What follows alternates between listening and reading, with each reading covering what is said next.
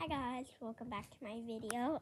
We are going to be testing out well, the feeling and the taste of supposed to be called a rainbow lemonade stick.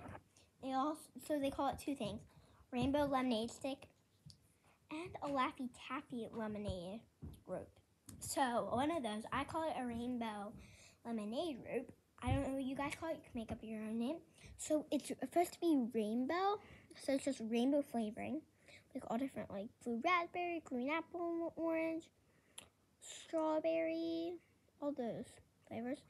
And they're supposed to have frozen lemonade. So that white stuff, frozen lemonade. Supposed to be. It might. It doesn't. It's not like cold or anything. It's just lemonade. It tastes like lemonade. So we're gonna be testing it out. And the feeling.